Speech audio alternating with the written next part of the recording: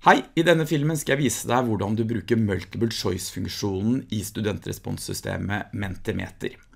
Første gang jeg starter opp en presentasjon så må jeg gå inn og trykke på New Presentation.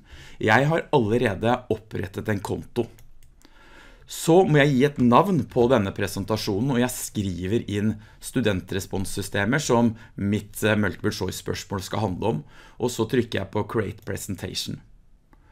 Her går jeg inn, og nå får jeg muligheten borte til høyre å velge hvilken spørsmålstype jeg skal ha. Og i denne filmen skal vi vise fram multiple choice. Jeg klikker på multiple choice.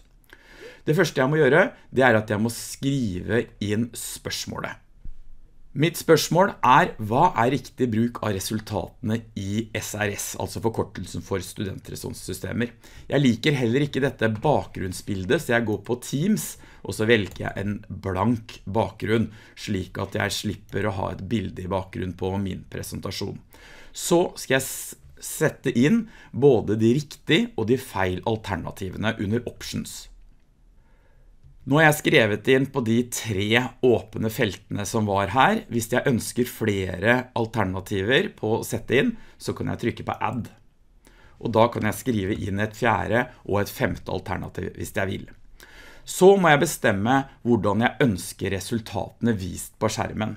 Da har jeg mulighet på søylediagram, bars, eller donut, eller pie, eller dots. Da representeres det visuelt med prikker hvor mange som har svart hver enkelt eh, alternativ.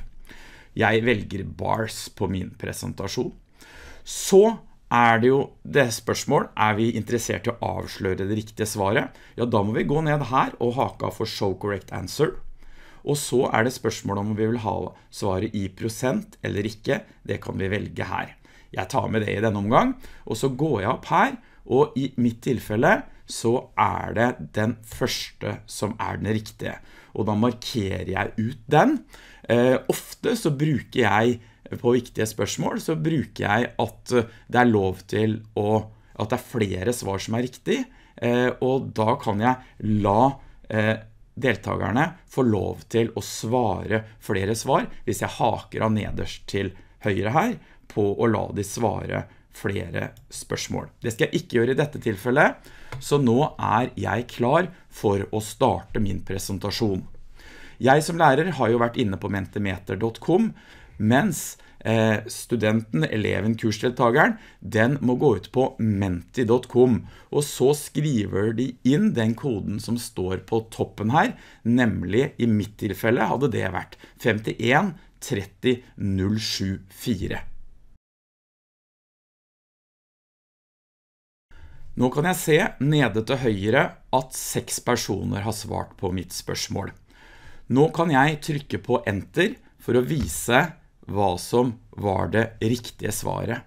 Og det var å ha fokus på både riktige og gale svar. Dette kommer frem her på en måte, og klikker jeg på barn så får jeg vite hvor mange personer i stedet for prosent som har svart hvert enkelt spørsmål.